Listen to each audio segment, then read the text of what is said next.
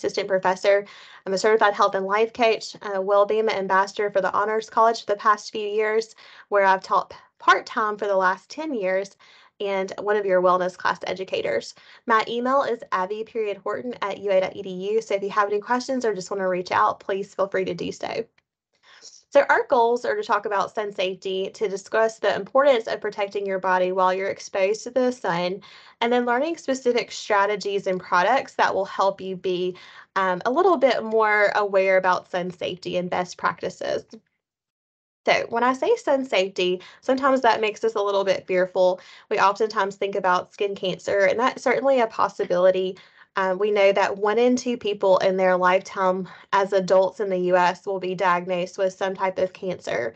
And so um, we have to be really, you know, optimistic, I think, while being very realistic about our odds of um, facing a cancer diagnosis. And for young people, skin cancer is one of the most prevalent um, so it's important to know your risk factors and to take precautions. So this is just for educational purposes only. Obviously, it doesn't constitute medical advice. So we would always ask that you reach out to your healthcare provider. But we want you to focus on what you can control, take what resonates with you, and leave the rest. Remember that baby steps are important. Small progress is still progress, and reach out if you have questions. So, I love this graphic because I love being outdoors. I love being in the sun.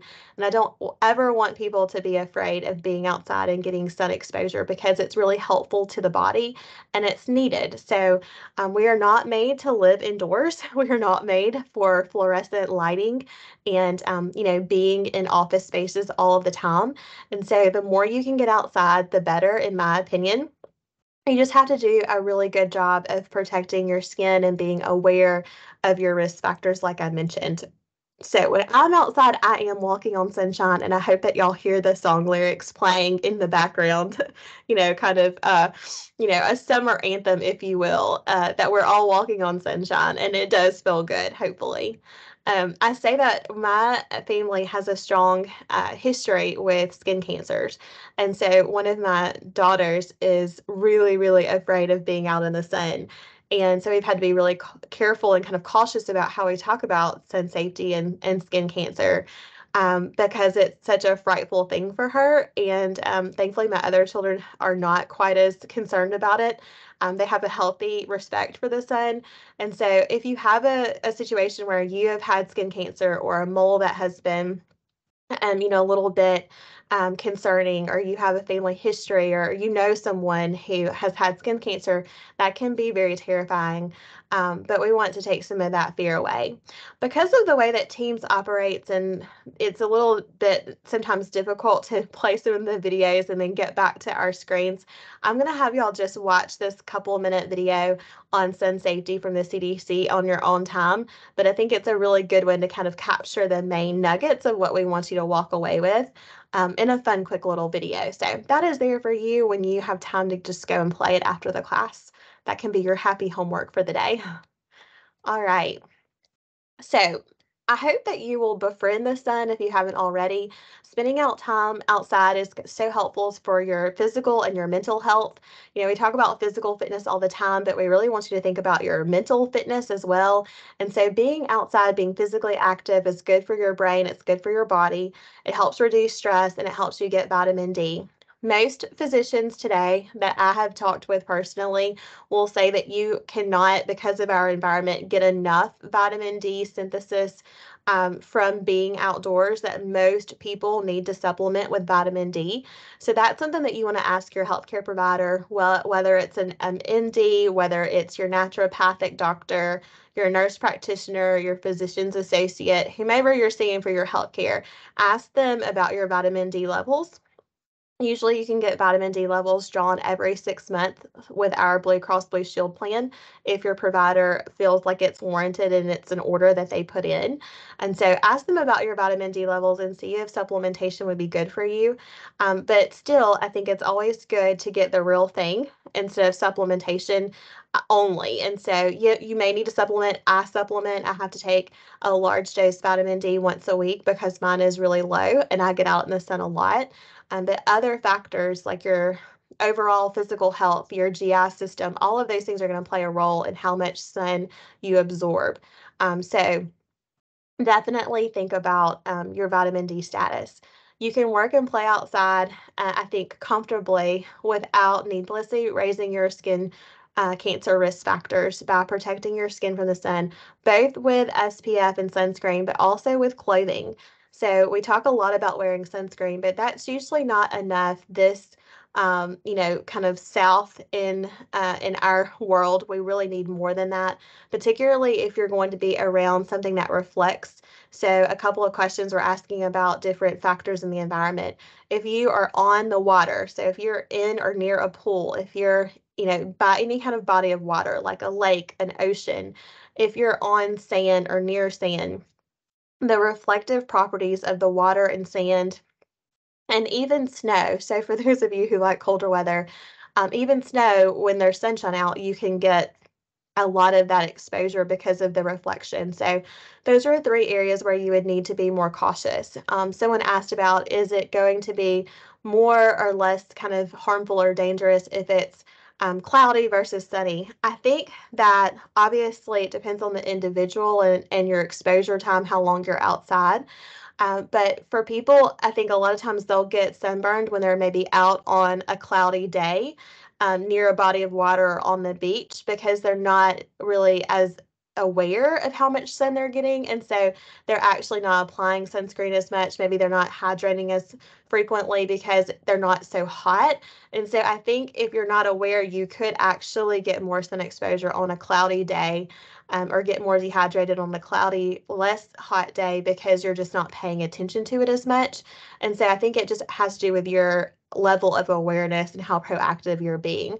So you always want to put your sunscreen on before going outside about 30 minutes before to let it dry. Um, and of course, 30 minutes before you get into water is really important. Reapplying frequently if you're going to be in the water is also a good idea. Um, there are different things that you can use on your skin now. There are little stickers that you can put on maybe your arm or your hand. And when that sticker, um, some of them are when they fade, some of them are when they actually turn a different color, it will tell you that you need to reapply because it's absorbing those um, UVA and UVB rays. And so it's telling you, okay, that has affected the sticker. So now I need to put more sunscreen on.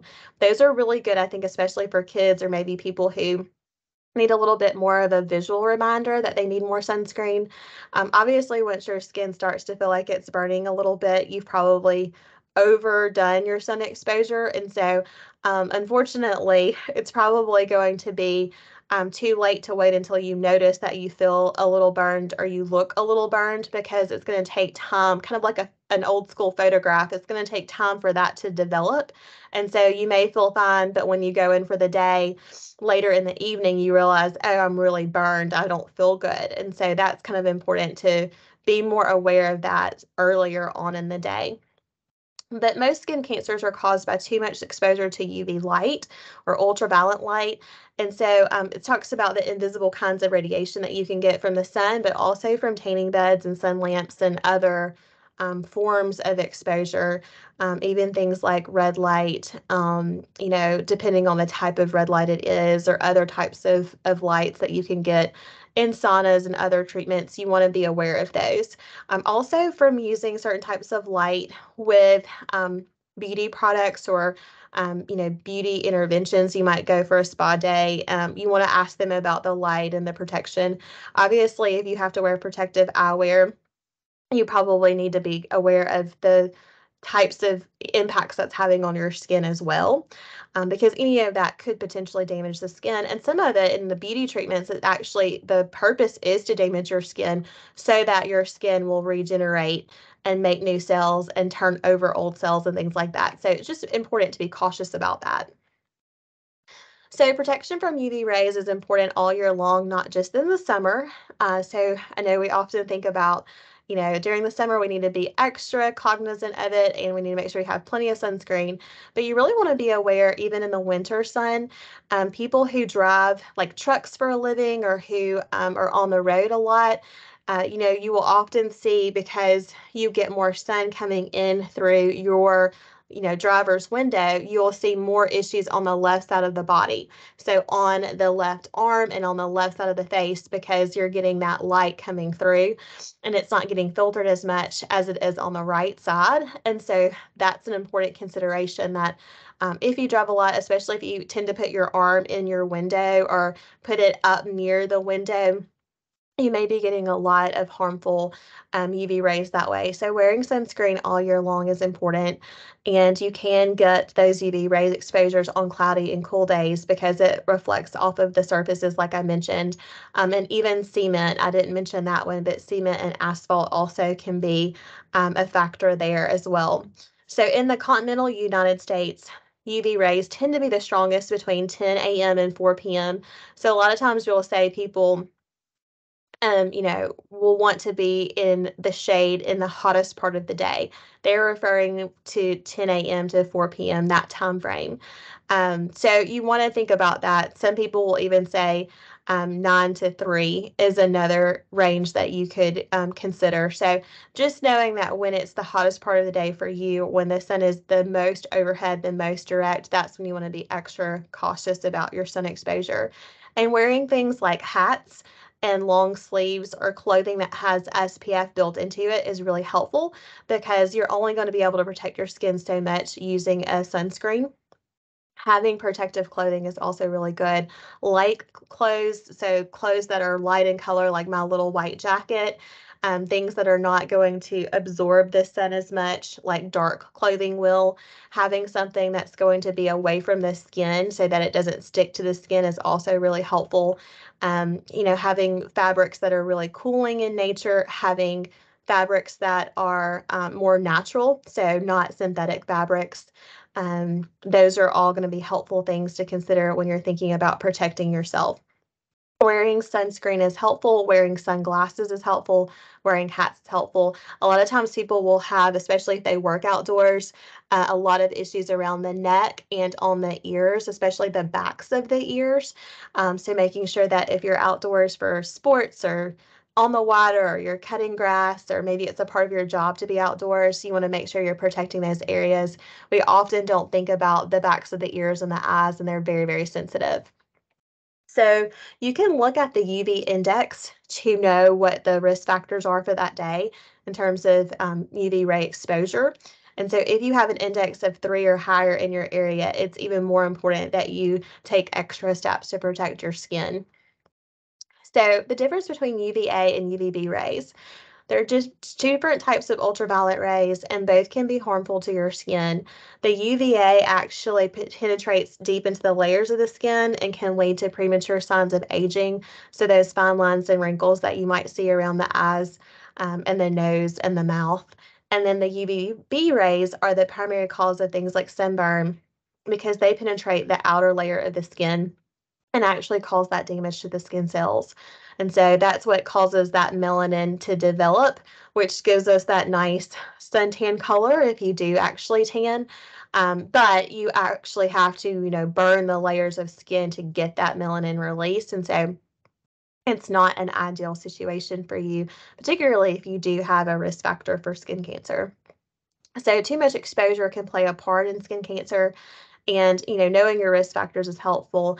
Um, on a cloudy day about 80% of the sun's uva rays actually still pass through the clouds and so that's probably more than you recognize when you're outside enjoying the the nicer cooler weather. You're probably not thinking about it's really only a 20% reduction in your exposure and then when you think about tanning beds, you know, that's primarily emitting the UVA rays um, which is going to penetrate deep into the skin. And so not only are you raising your risk factors, um, but usually when you're going to a tanning bed, it's because you do care about your appearance and, you know, you may really value a tan. Um, years ago, 20 years plus ago, if you had things like psoriasis or arthritis or other skin disorders, um, some doctors would actually recommend that you go to the tanning bed for those conditions because they thought that the the light could be helpful. Um, so we've definitely changed our stance on that in the medical community. But I actually received that advice as a teenager because I had um, psoriasis and eczema, and so and psoriatic arthritis. And so I actually was told to go to the tanning bed a couple of times a week. And so um, that created an unhealthy habit that has led to um, the last five or so years of having more than 20 moles removed because of skin and mole changes. Um, and I'm sure it was not only the tanning beds, but also probably my sun exposure as a child. If you have sun exposure or sunburn, that damages the skin as an, an elementary school preteen in that age range um, of your childhood, then you are more likely to develop skin cancer later on in life. And so that's important to really know and think about protecting our kids.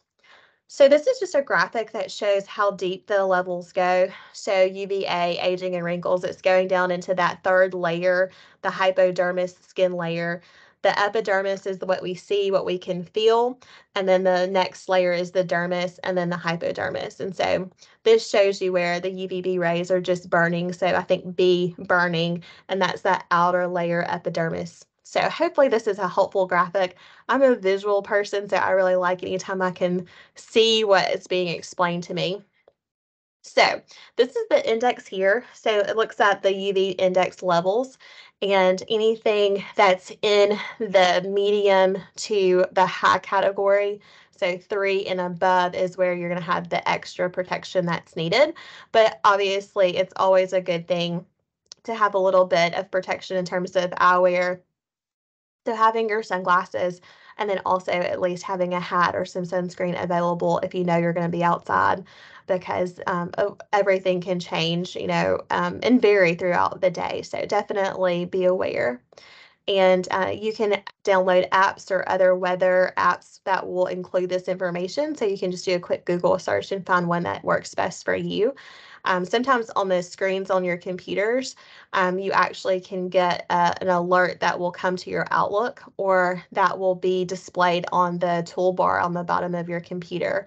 Uh, so I have that at home. Uh, I didn't intend to do that, but it was just a feature that I noticed on my computer. It actually gives me the index and the weather. And so that's a really helpful thing to know as you're getting ready for the day.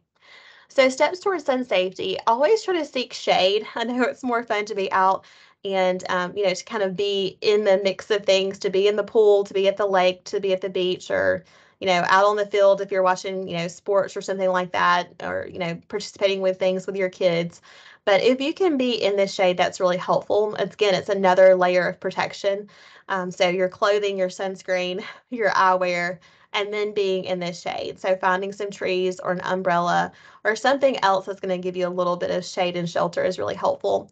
Clothing, like I mentioned, you know, making sure that you um, cover up for a part of the day if you're going to be out, especially if you're going to be in a swimsuit. That is very, very painful to have a sunburn. I'm sure we probably all experienced that. Um, but you want to make sure that you um, take clothes that are going to actually cover and protect against the the rays. It may not have SPF in it, but any type of protection is better than no protection. So just think about that. You also can have clothing that's certified under international standards for offering UV protection, and I'll give you a couple of suggestions for that at the end. All right, let's see. Skipped ahead. So um, your hat. So hats I mentioned, there are some hats that actually have uh, a UV protection built in. It has SPF and it's the way that the fabric is actually constructed. And so that's helpful. A lot of times people will just wear a baseball hat or baseball cap and feel like that that's fine, but you need something that's going to actually have a brim on it that goes all the way around so that you're protecting your neck and your nose. A lot of times if you're wearing a baseball cap, it's only protecting the upper part of your face and your nose and your chin, which are going to be the two most prominent parts of your face are not protected and it's not protecting your ears. Um, and then sunglasses, like I mentioned, that's going to be helpful to protect your eye health. And um, you want to make sure that you don't get sunburns in your eyes. I have actually had family members and friends who have had um, damage to their eyes and who have had sunburns to their um, sclera and their retinas because they um, were outside for prolonged periods of time.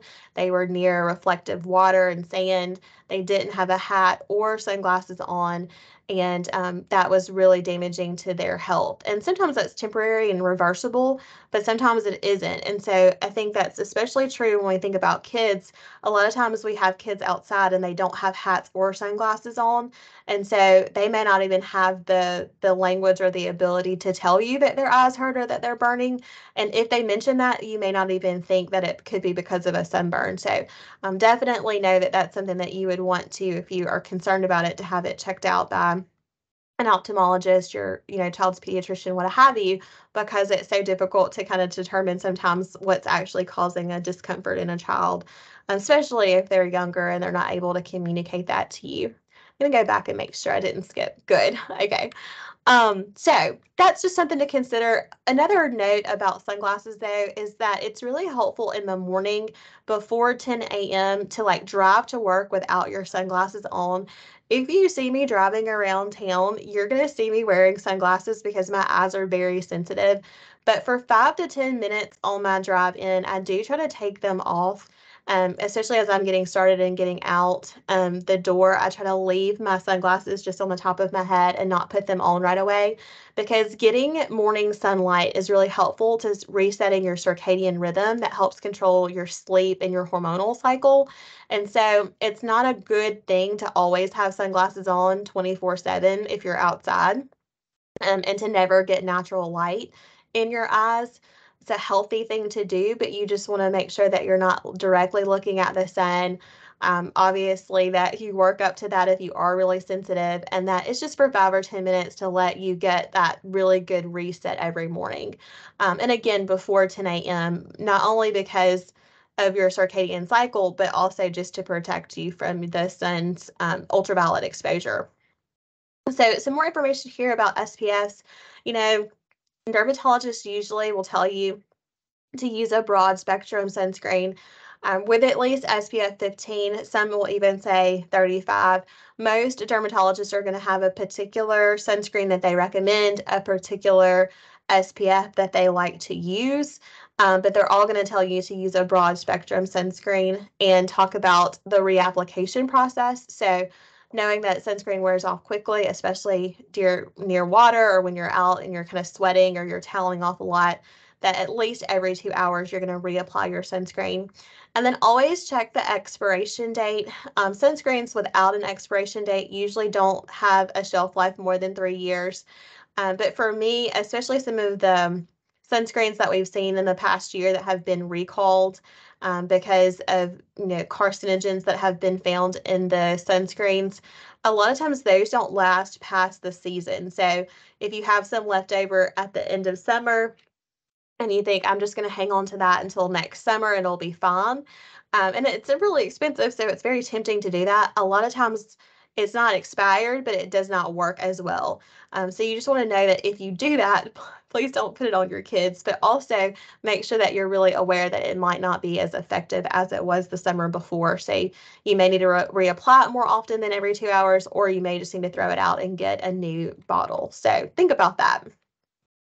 Um, most adults need at least one ounce of sunscreen to cover their body. So just a really healthy um, squirt. Some people will actually say like a um, quarter or a half dollar size amount obviously depending on you know the amount of skin and surface area you're trying to cover um, that will make a difference as well. Even if you're planning on you know wearing a hat and you're going to have sunglasses on and you're going to have you know a pool cover up or a t-shirt or something on or a rash guard which i think are really really great especially for kids to wear. Um, spf protected rash guards are our friends. All my kids wear those in the summer um, and it's a habit. They don't mind wearing it because we started them out wearing them as babies. Um, then still apply sunscreen and then put those cover ups and things on because that's just adding layers to your protection. And then 15 to 30 minutes is usually um, what we say to let it dry before going outside. I always say at least 30 um, because you need at least 30 minutes before you get into water because it will wash off for sure. And don't forget your lips. So your lips, your eyes, your ears, uh, those are going to be places that you want to make sure. Even your scalp, especially if you are sensitive or you have thin hair, even if you have a hat on, you can still get that light exposure. So there's um, balms and sticks and things that you can actually rub into your scalp to protect your scalp. Um, you can have lip balms that have SPF. So don't forget about those things either. And then I always say to try to avoid the spray sunscreens like the aerosol cans. Um, one, it tends to get on your neighbor. I'm sure everyone has probably been at the lake or the pool or the beach, and your neighbor has started to spray the aerosol sunscreen and it gets all over you and everyone else. Um, so there's that factor, but also um, it's not the safest for our lungs to be breathing in aerosol sprays. So anything that's aerosolized, I would say to try to find a spray or a lotion that can replace that because it's just not the healthiest for our lungs or our overall health.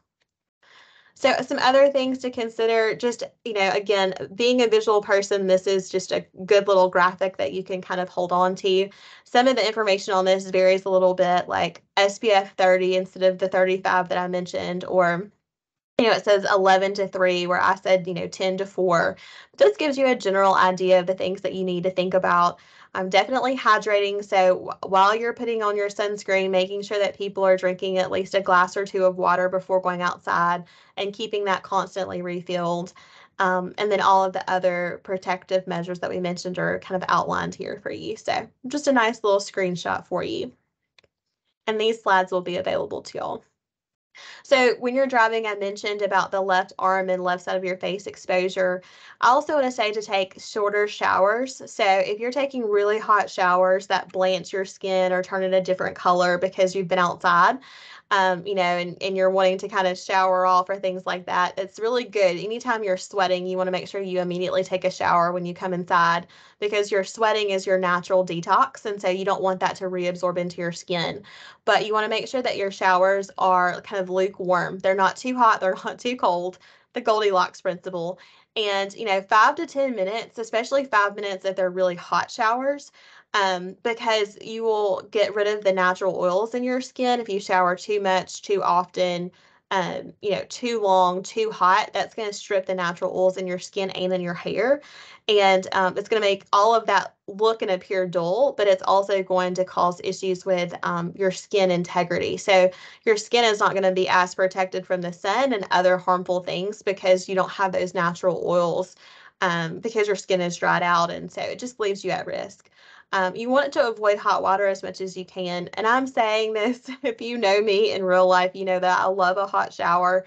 So, um, so I have to be really mindful of that as well um, to keep the show- showers kind of limited in that way. But use a moisturizing lotion after you shower. So you might want to keep your lotion in your shower and then put it on before you even dry your skin. So, you know, you can kind of, you know, use the towel to, you know, lightly get the biggest amount of water off of your skin, but while it's still a little damp, apply your lotion and that will help it be more effective. And then we always say to drink half of your body weight in ounces a day, but usually no more than 128 ounces. Um, and that's about four to eight ounces of water per hour while you're awake. And that's a good rule of thumb um, to make sure that you're staying really hydrated, but not overly so. So, skin cancer risk. Uh, it's mentioned that the new rate has come out that one in two Americans will develop some type of cancer. Right now, it's one in five Americans will develop skin cancer during their lifetime. And tanning bed use before age 35 increases your risk for skin cancer by 75%. And, and unfortunately, I'm in that category. I've had precancerous moles. Um, so people who use tanning beds are two and a half times more likely to develop squamous cell carcinoma Mine actually was precancer for melanoma, which is the most severe type. You also have, um, in addition to, to melanoma and squamous cell, you also have basal cell carcinoma. Um, and those are the two more common. All skin cancer is, um, you know, is something to be, uh, you know, monitored closely because of the risk factors that are associated. Um, but particularly with melanoma, because it can become uh, systemic and it has poor health outcomes. And I say that to empower you, not to scare you. Uh, your risk of skin cancer doubles if you've had five plus sunburns. And I will just be very frank with you and say that I would have five plus sunburns in a summer. And I think probably a lot of us would have. Um, if we look back and, and kind of note that, I don't think that I'm in the minority in that statistic, unfortunately. And that's why we see so many people with skin cancer today. So 90% of pediatric melanoma cases are actually in young girls ages 10 to 19. And depending on if you're male or female. And again, I think this is a behavioral thing, but I also think it's hormonal. And in medicine, most studies are done with male and female. It does not recognize, um, you know, the uh, other, you know, gender uh, roles or, or transitions or things like that. Unfortunately, it, it's just in the, the gender binary. Um, so that's why I'm reporting it in that way. But one American dies every hour from melanoma, and it's the most common cancer among women ages 25 to 29. And it takes about 28 days for new skin cells to grow. So when you're thinking about um, skin cancer, skin cancers can develop very rapidly because the skin cancer cells um, attached to the skin cell itself is going to be something that will grow very quickly. So it's important that, you know, a few days can make a big difference in a melanoma diagnosis. And I'll share a story about that in just a second. There are 2 million non melanoma cases of cancer diagnosed every year in the US, and that number is growing, um, like I mentioned. So, my husband was diagnosed with melanoma uh, more than 10 years ago, and um, he has gone on to have basal and squamous cell carcinoma. And we happen to just have um, a friend of ours who's a dermatologist recognized that he had a mole that was concerning. I had mentioned it to him and he said, Oh, well, I have a dermatology appointment in another month. It can wait. And we just happened to see our dermatologist before then. And she said, um, you know, when we followed up, we uh, had a call from her office uh, on the Monday after we saw her on the Saturday and said, We're going to move your appointment up. Come on in to see us. And so she did a biopsy and walked him through everything. And it did become back that it was melanoma and it had metastasized to his uh, lymph nodes and he had a cu- couple of surgeries and radiation treatment and, and all of that to follow up and he's gone on to have basal and squamous cell um, ca- cancer diagnoses as well another one this summer in fact. And so it's been an ongoing 10 year plus experience with him. And i say that because it's so important to be empowered and not scared. And, um, you know, we have overcome a lot of the odds when it comes with my moles and with his cancer diagnosis that having education, being proactive, going and getting regular skin checks can really make a difference. And so if you know someone who's having a health scare or you know, a cancer experience that is upsetting, just know that you still have power to make healthy choices and to make different choices. So, if you've been someone who hasn't paid attention to your skin or hasn't been wearing, uh, you know, sunglasses and hats and sunscreen and protective clothing, every choice that you make will really make a huge difference in your long term outcomes in terms of your health or avoiding a cancer diagnosis. So it's never too late to make a healthy choice, uh, and it's never too late to educate yourselves and others about. Um, you know, moving forward, this is what I'm going to do to protect my skin. Even in the past, if you're like me, that you didn't do that as diligently. So I hope that encourages somebody today. These are some examples of the different types of skin cancers and what they look like. I will say the basal cell carcinoma and the squamous cell carcinoma look very much like this in the beginning stages. Um, this melanoma, I'm not going to say that it's more advanced. I think you can see with the pixelation that it's zoomed in a little bit more than these other two images. Um, but a lot of times it will actually come back as melanoma before it looks this severe. Um, so I've had one my husband's also that was diagnosed was not nearly this dark. It was about half of this dark color. And so I don't want you to think that it has to be this black, dark, you know, red highlighted color for it to be melanoma. It doesn't. This is kind of the worst case scenario look here.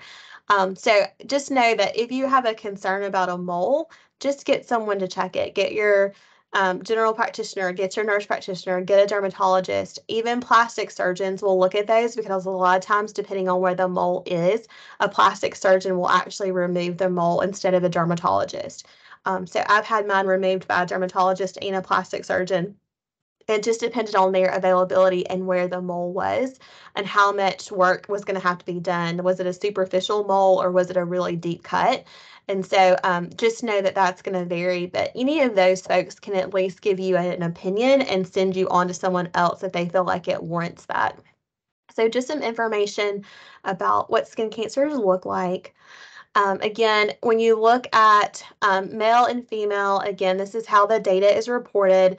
Um, for females, you're going to have more people who have them on their legs. So women tend to have them more on the backs of their legs, um, maybe even possibly on their feet. So you can have them in your fingernails and toenails, little skin cancer spots that you don't really recognize as that. Um, so it's important that when you go and get a skin check that they look at your fingernails and your toenails and look in the areas that you can't see yourself. So your back, your trunk, your backs of your legs, the places that are the most difficult for you to see with your own eyes. Um, and then for men, they tend to have them on their actual trunk, so meaning more like the tops of their chest, their abdomen, and their back. Um, so that's something to be, you know, considerate of. Women then are going to be having more on their arms, and then men more on their head and their neck. And my husband's was actually on the side of his neck, and his shirt collar actually hit it a lot of the times when he was going for just regular checkups and visits and things. And so having that shirt collar um, right there at his neck, that's a place you really want to look at with people who wear shirt collars um, because it's not just about direct skin exposure oddly enough, for melanoma, a lot of times they're going to be in places where you don't get as much direct sunlight. And there's some research that says that there may be something to do with hormones, particularly people who have a lot of estrogen on board. And that makes sense because we have a lot of what we call xenoestrogens. Uh, it's X E N O estrogens, things that mimic estrogen. So our exposure to plastics and chemicals and things like that can unnaturally elevate our estrogen in our bodies that we make. And so that would make sense that if this connection truly becomes something that we see in the literature that's supported over the next few years, after they replicate studies, that it may have something to do with our hormones and not just strictly our sun exposure. So, something to consider as we think about it. And so you also want to know your ABCDEs. Um, there's actually a move to add an F on the end of this for funny looking. And so we'll talk about that. Um, my students, when I teach this to them, always uh, laugh and think that that's a fun way to remember that it's just funny looking. But asymmetry. So you want to make sure that when you look at your moles, that they're they're pretty symmetrical. That's how a mole, you know, quote unquote, should look that the border is not uneven. So you want it to be a nice round color. You saw on that other mole that was melanoma, um, it very much looked like that uneven border and it wasn't symmetrical. So you couldn't draw a line and fold it onto itself. Um, they can be brown, tan, or black. You usually see them looking very dark or black, but a lot of times it's a dark brown color with a black spot to start. And so that's really important to, kind of look for. So you're looking at asymmetry, border, color, diameter. If it's larger than a pencil eraser, you happen to have a pencil. So if it's larger than a pencil eraser, then you're probably going to want to keep an eye on that uh, you also want to look at evolution. So does it change in size, shape, color, elevation, meaning when you rub your finger across it, can you feel that it's raised? Some moles will feel raised, some will not, but you want to know if it changes. And then any other traits or symptoms or things. Um, some of the moles, I just had two removed recently um, on the back of my shoulder in the spring. And the reason that I knew that I needed to go and have them seen about is because when I would touch the mole, it actually would be painful. And there was a redness that was developing around the outside, around the border of that mole. And so I had those two removed and biopsied to make sure that they're, you know, were caught early and they were. So that was a good thing but it was a just a, a painful spot and I noticed that my shoulder felt like it was hurting a little bit, but I didn't realize it was from the mole. And so I pointed to the spot and let my husband look. And I was like, Is there something there? Because it feels very tender and a little painful. It was starting to cause like a little bit of an ache. And you wouldn't ever think to attribute that to a mole. And he said, Well, there's a mole there that looks like blah blah blah and i was like okay well i probably need to have that seen about and so the surgeon agreed. So you may think you are having like an, a shoulder ache or a, a ache somewhere else in your body and it may actually be from a mole or from a spot there. So i mean you can develop melanoma where you have extra melanin that has deposited that isn't actually a mole but usually it is a mole. So sun poisoning is something that you also want to be aware of. I actually had sun poisoning on a spring break trip in high school. and developed blisters. And so you want to know about the levels of burns. Um, you can have um, different variations of skin burns that can become very serious because when you do have that level where you're developing the blisters, you can get very, very dehydrated and you can start to become very sick. You can get toxic. You can develop a fever, nausea, dizziness. Um, all of the things that you would think of when you're, you know, kind of fighting off an infection you're more at risk for infections on your skin and in your body when your skin integrity has been compromised. So, if you have redness to this degree or blisters to this degree, you do need to be seen by a provider because they need to be able to monitor the level of burn that you have and make sure, you know, that's not a second or third degree burn and that you don't need fluids or to be monitored in a hospital situation. So, more information about how to prevent sun exposure and sun poisoning in this way. Um, you're more likely to do this um, type of burn if you've had it before, or if you're using a suntan bed, or if um, you're at a place that is going to have a lot of reflective qualities but some people are just more susceptible to developing those blisters. And once you've had sun poisoning, you're more likely to have sun poisoning in the future. So sunburns, sun poisoning, heat rash, and heat exhaustion. It's important to know about those. You can also have heat stroke, which is more serious than heat exhaustion. So we talked about burns a lot. Heat rash, sometimes it's just that you develop a rash because you are so hot and you're sweating so much. Sun poisoning, I just mentioned that on the previous slide. And then heat exhaustion is where you just become noticeably tired, thirsty, lightheaded. You start to feel, you know, kind of poorly. You have, you know, maybe redness in your face that could look like a sunburn. And then heat stroke is when you have really overheated your body and you're dehydrated. And both heat exhaustion and heat stroke are considered medical emergencies. I would say personally, sun poisoning is right there with those because it can develop so quickly and you can get sick so fast. Um, so definitely know um, that those are serious and you need to kind of be mindful of them. So protect your eyes, your ears, your lips, your nose, your scalp, and the back of your neck. Your eyes and eyelids can sunburn, like I mentioned. I love using BioTrue drops to help lubricate your eyes. Uh, I tried them out. I thought they worked really well considering other products that I've tried that's just over the counter and my ophthalmologist agreed that BioTrue are a good um, eye drop for most people who need some extra lubrication. Once you get into your late 30s, early 40s, and beyond, you start to develop some natural dryness. And I'm definitely there. And so um, that's something that's been helpful. It can be really helpful too if you um, are having eye strain or things like that. I would not put those eye drops in if you feel like you have sunburn until you've been told by your ophthalmologist or physician to do that. Um, but just know that that might be a good option for you. And then with the sunscreen situation, you still want to get outside and get some sun without sunscreen just for that vitamin D synthesis. So you're going to hear, you know, 15 to 30 minutes is a good recommendation of sun first thing in the morning before 10 a.m. So go outside without your sunscreen, without your sunglasses, and get a couple of, you know, 15 minutes, 30 minutes um, a few times a week, if not every day before you go into work so that you can get the health benefits of the sun without some of the concerns and worry over that. Be mindful of medications that you take or other conditions that make you prone to being sensitive to the sun or having photosensitivity. Uh, things like hydrochlorothiazide and lisinopril, some um, heart and blood pressure medications like that will make you sensitive to the sun and you will burn much more quickly. Also, if you've delivered a baby and had um, a change in your hormones recently, that will make you more susceptible. So, new mamas who go out who've never had sunburns, that's never been an issue for them. And they, you know, maybe have had a baby within the last two to three months. Sometimes their hormones will be such that it will make them more susceptible to sunburns. And so, that's important to know. I did not learn that until I was going to my regular vacation and had just had a set of twins and I burned and I had done all the things I normally did and and you know normally don't have a sunburn to that degree and um, learned the hard way that that is something that plays a factor with your hormones.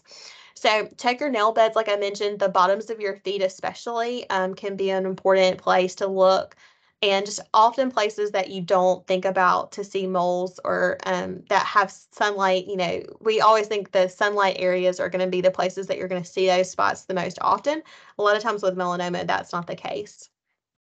So special considerations, um, you know, late stage melanoma diagnoses, along with almost every other health outcome, is going to disproportionately um, affect people who are um, in you know a vulnerable or marginalized group. So people who are of Asian or Hispanic or African American populations, um, you know, they tend to be less at risk for developing skin cancer because they have darker melanin, but they also then are screened less for those conditions. So when they do develop, because it doesn't prevent them from developing skin cancer, then when it does develop, sometimes that is actually going to be later stages of diagnosis because it wasn't caught early.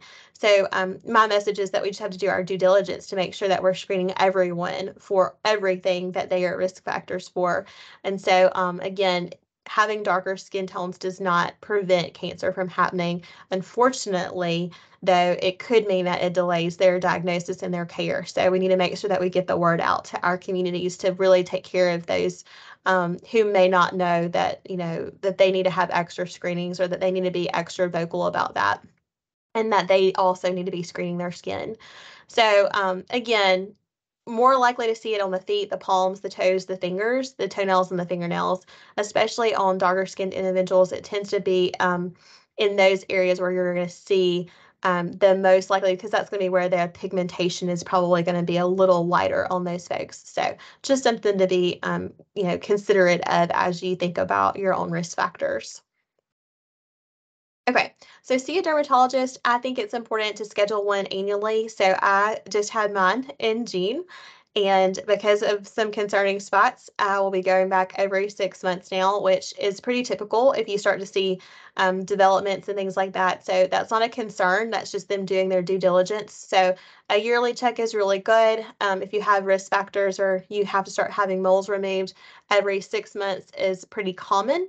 And then for people like my husband who've had multiple types of skin cancer and melanoma diagnosis, usually those folks are seen every three months or as needed. So that's kind of the schedule of doing skin checks. But you should do a skin check at least once a month. I always tell people to do that around your birthday. So I was born on the 12th of the month. So around the 12th of each month, I try to do my skin checks. So your self breast exam, your um, self testicular exam, your skin check, all of those good checks that you do, just do them around your birthday. And then that will remind you that, hey, it's time for me to check on my health.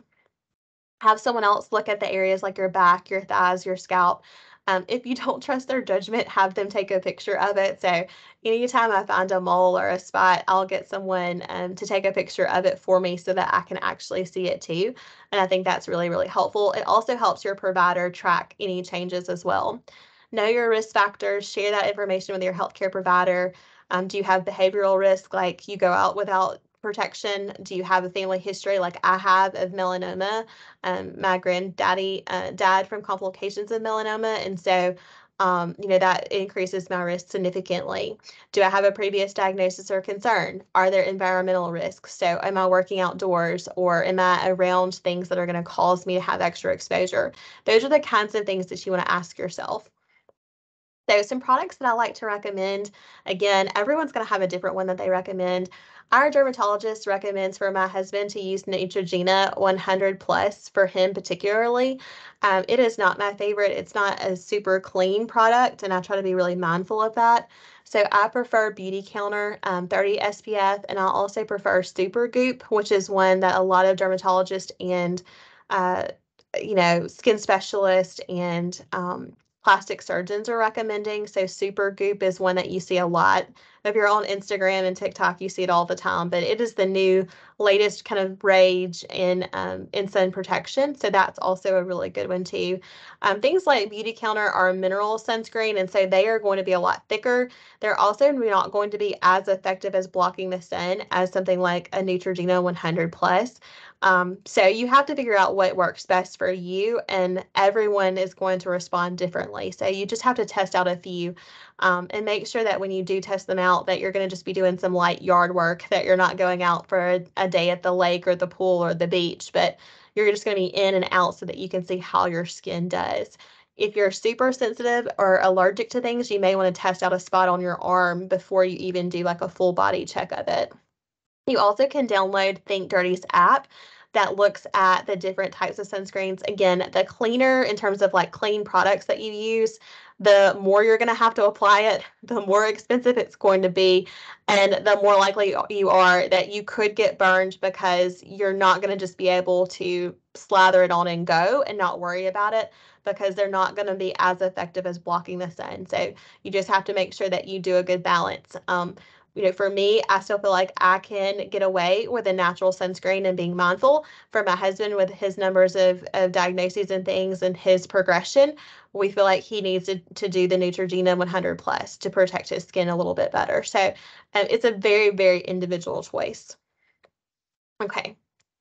Um, there's also this app, like I mentioned, the Think Dirty app and the Environmental Working Group. They have an app and a website where you can go and check out your products. If you're interested in clean products, we have a couple of classes on clean living lifestyle, one and two. So I would encourage y'all, if you're thinking about making changes in your health, to check those classes out. They are on our archived webinar page on wellness.ua.edu. A couple of things I like to use Lavaderm after sun spray from Young Living helps a lot if you accidentally get a little bit of a burn. BioCool is not clean or green in terms of a product, but it works extremely well, but it does have lidocaine. So you do not want to put this near your heart. I do not put this on my kids because it does have lidocaine in it. It is over the counter, but you just have to really use with caution because lidocaine can impact um, your breathing and your heart rate and all of that. But it does, it's a numbing agent, so it does take some of the numbness out of the burn. Lavaderm does that too with natural ingredients. And then, of course, you've got the good old aloe vera gel. And then lavender, if you're using a therapeutic medical grade lavender essential oil like Young Living has, there's several other brands out there. Lavender can be really soothing and can help take the burnout as well. But you also have this company here, um, and it is going to be an all natural product that you can use to protect your skin from uh, any type of you know sun exposure. It's going to have SPF built in. It's lightweight, you know, very natural fabricated um, materials in terms of hats and clothing that you can use for men and for women and you know lots of great choices there. This is the brand that our dermatologist recommended for my husband and my family to use um, and it's backed by many dermatologists nationally. So that's another great product that you can use. All right. I hope that that was helpful. I'm going to go to your questions. This is our social media, so our website, our Facebook, Instagram, and blog and Carolyn and Miranda and the whole team at Wellness and Work Life do a great job of maintaining all of those sites and social media outlets for us. This is my contact information. And I'm going to pop y'all's chat back up and look to see what all we can answer. At one o'clock, you are free to go, but I will stay around and answer your questions. So, preferred sunscreen and SPF, I would say Supergoop um, 35 plus. I think we answered the question about cloudy days they're they can be as dangerous for sure. Hotter days and cooler days, again, um, you're more at risk for hotter days, but the cooler days might make you think that you're okay. Um, the question about spray and aerosol or lotion, I always think lotion's better because it's thicker. Spray would be the next best, and then try to avoid aerosol. Timing of sunscreen and reapplying. So 30 minutes before you go out, especially if you're getting in water, reapply at least every two hours uh, zinc, benzene. I like having ones with um, zinc. So sunscreens that have the zinc in it are going to be thicker and going to be more natural. Um, and it gives you a good coating. But I think the jury is still out on what is truly a safe sunscreen, given everything we've learned about the carcinogens and the popular um, sunscreens that we've all used and we've all grown up using. Um, particular brands, I think you just have to find what works best for you. Um, I really like Beautycounter um, if I'm not going to be out more than a couple of hours. And um, yeah, even in the early morning or even late at night at the beach, you still need the sunscreen. We ride a motorcycle, sunscreen or long sleeves, both. I would use both sunscreen and long sleeves. And I would use long sleeves to protect you because if you have a fall on your motorcycle, you want to make sure that you have a cotton fabric because if you have a synthetic fabric, I'm going way off script, y'all, but if you have a synthetic fabric on and you have a motorcycle accident, sometimes that synthetic fabric will actually stick to the skin and make it harder for you if you get like road burn or something like that. It will actually stick in the skin. So you want something like cotton or ideally like some type of leather that's going to protect your skin if you were to have a fall from the motorcycle. Um, but then also that's going to help protect you for sunscreen. So um, and sunburns. So good. Wondering about spray versus lotion. Definitely lotion. Expire. We said the three years. Specific sunglasses. Make sure your sunglasses have UVA and UVB protection. The sunglasses should tell you that it should have a sticker. And I don't have a particular one, but if you find that you have one that you really like, please let us know, Brett. That's a good good question. I don't have a favorite though. Um, I believe darker colored clothing is better to prevent sunburn. It depends on the type of fabric and the colors. You know, traditionally they say that black and dark clothes actually absorb more. Um, but it depends on the type of fabric. It depends on um, the specific color of the fabric. Um, so lighter color clothes are going to help you in terms of reflecting some of that off and keeping you cooler. But really, we want to make sure that it's got some SPF protection. And most SPF protective clothing is going to be the lighter colors, the light blues, the light um, whites and greens and things like that. So um, yes, there's definitely debate about that. Thanks for bringing that up. Um, sunscreen, yeah, do not leave sunscreen outside. Don't leave it in your car. You don't want it to get too hot. Um, oh, thank you for sharing about your melanoma diagnosis. Yeah, she says not a fun time. I'm sure not. Another one, another participant says melanoma 20 years ago this month. Well, I'm so glad that you're here with us to share your story and um, thank you. Hopefully, this has been helpful. If you have dark skin, we mentioned about that. Treatment for sunburn, you can get actual treatment at a hospital for that. They treat it like a regular burn. And so, um, you know, it'll be things like um, keeping your skin moist. It'll be things like uh, hydration, getting IVs potentially if you're really dehydrated. Um, and it'll be avoiding, you know, the sun, obviously, hot water, super cold water. Um, and there might even be like needs for pain medications and things like that. So um, that could be a potential. Uh, you know, sometimes we're going to just give you over the counter medications at home. It depends on how severe. Brands for kids, anything that's good for an adult would be probably good for a child as long as, you know, you're not using aerosolized sprays or things like that aloe really good for a sunburn. I still think that there's a lot of debate about that, but it certainly feels good when you are burned. So I think if it feels good um, and it's not harmful or toxic, you're not allergic, you know, I think that it's, it's okay to try. We definitely use aloe vera sometimes. Um, I prefer the Biocool if I accidentally get a burn, but all my kids, I do use aloe vera, and I think it's fine as long as there's no reason for you particularly not to use it. People who have eczema and compromised skin, more specific care, keeping your skin covered, keeping it protected, keeping it um, dry, uh, you know, using sunscreen as needed, um, and then follow up care about your eczema. That's really important because there's some new products out now. I've had eczema and psoriasis since I was in elementary school, and I am now free of both of those. Um, I had one little spot left, and this summer I got a new treatment with my dermatologist, and I'm completely free of that. So continuously getting updates on your care is important because so many strides are being made in treatment today. I see that it's one, but I'm still going to keep on answering your questions. Thank you for the information. Good. I'm so glad this was helpful.